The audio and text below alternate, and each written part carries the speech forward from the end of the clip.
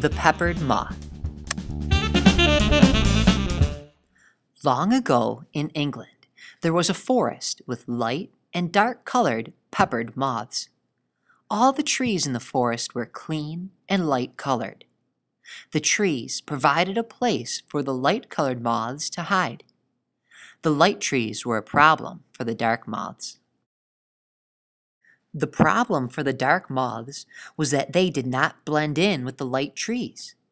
They were always getting eaten by the birds. Because all the dark moths were getting eaten, the only moths around to reproduce were light moths. Most of the light moths had light-colored babies, and the population of light moths increased. The population of light moths continued to grow until the Industrial Revolution changed their lives forever. During the revolution, people started using machines to make goods. These machines produced a lot of black soot.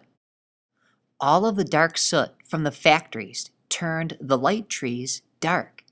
Now, all of the dark moths had a place to hide. The light moths were easier to see and they started to get eaten by the birds.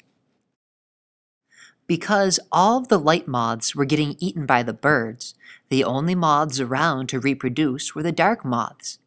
Most of the dark moths had dark babies, and the population of dark moths increased. The dark moths adapted to their environment. The way the color of the moths changed is known as natural selection. Natural selection is the process by which organisms that are better adapted to their environment are more likely to survive, reproduce, and pass their traits to the next generation.